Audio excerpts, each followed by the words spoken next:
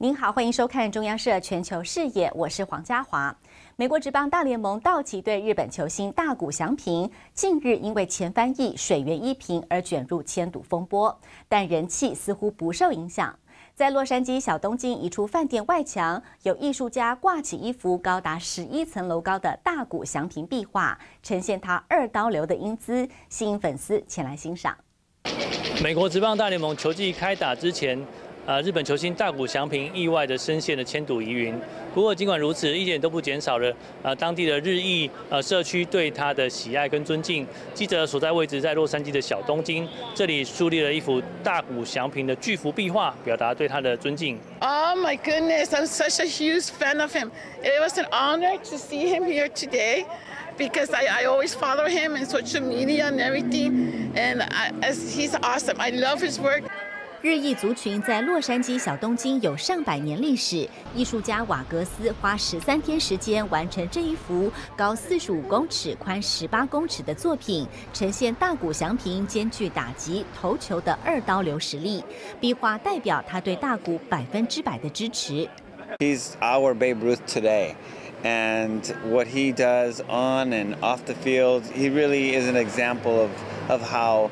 How uh, a professional athlete should should be, and um, I think this mural and this image of him is one that uh, instills pride here in Little Tokyo, but also just in Angelinos because we're all uh, Dodger fans. It's unfortunate that someone uh, in Otani's uh, near Otani uh, made some bad decisions, but Otani is is has always been an example of how to do things the right way. So. Um, I back him 100%. I think this mural shows that. 瓦格斯是在地艺术家，他强调这幅作品重点是团结，把人们拉在一起，凝聚了洛杉矶人。他说，壁画虽然位在小东京，但大谷是全洛杉矶人的骄傲，无论来自何方，都是道奇球迷。装饰记者林宏汉，洛杉矶报道。台湾企业家王文祥赞助 LPGA 洛杉矶锦标赛。日前，他在记者会上宣布，将加码总奖金到三百七十五万美元，相当于台币一点二亿元，希望能抛砖引玉，吸引更多企业家投入，提升女性高球选手的待遇，打造正向的运动环境。美国女子职业高尔夫巡回赛洛杉矶锦标赛将于四月底举行，台湾企业家王文祥夫妇是出资者。日前在记者会上宣布，今年洛杉矶锦标赛的总奖金再度加码，并提供参赛选手免费住宿。王文祥夫妇从去年开始赞助洛杉矶锦标赛，总奖金从一百五十万美元提高到三百万美元，今年更加码到三百七十五万美元，相当于新台币一点二亿元，希望能抛砖引玉，吸引更多企业投入运动赛事。去年。只有五个 tournament，对不对？purse 三百万以上，今年有十一个了，所以我们有有一点带头的作用。美国女子高尔夫球赛制的奖金，过去只有男子赛制的百分之二十。去年获得冠军的选手葛林提到，站上 LPGA 的舞台并不容易，期待随着这次的赞助，能带动更多企业家的关注与投入。王文祥妻子王范文华也表示。提升女性选手的待遇，才能打造更好的运动环境。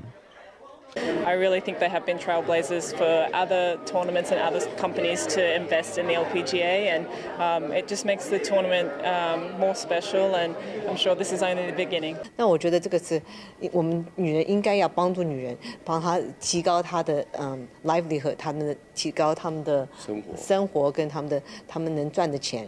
王文祥出生台湾，在美国事业有成。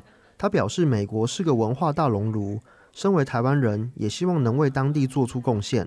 目前已邀请了十八名台湾企业家到美国，一同参与职业业余配对赛，认识美国职业运动的运作，也期待共同为台湾运动赛事出一份力。中央社记者林宏汉洛杉矶报道。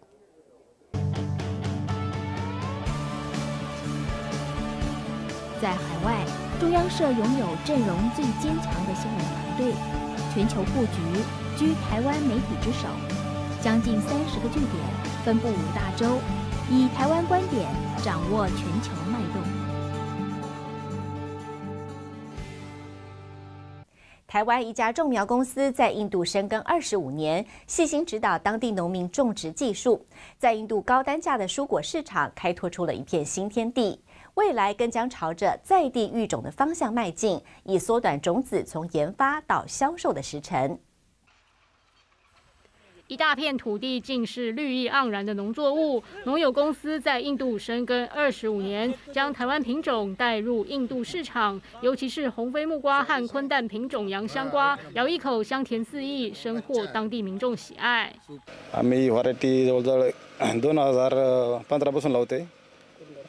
कुंदन व्हरायटी आणि मार्केटला पण चांगली विकते बाजारभाव पण चांगला आहे त्याचा 农友公司自一九九九年进军印度以来，已在全印度设立十个办事处，并与八百家种子零售店合作。走进农友大楼，可见到宽敞的厂房。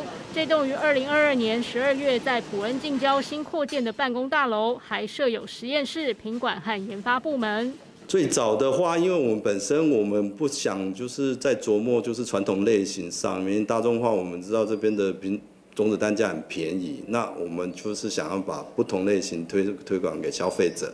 那当然，农民的那个就是说接受度一开始就不大，但是我们就透透过试做，然后再办活动、推广活动、试吃活动，慢慢把是认为他们就会知道说哦，这个不同类型的水果或蔬菜相对的也。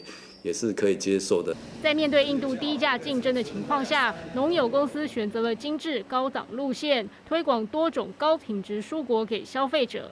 我们会这里这边成立雅安地，就是研发中心，也会有育种的计划在那边执行。自己能研发本身在印度的品种之后，可以就地生产，然后当地销售。因为我们台台台湾都有各自的文化，然后各自的规定跟制度。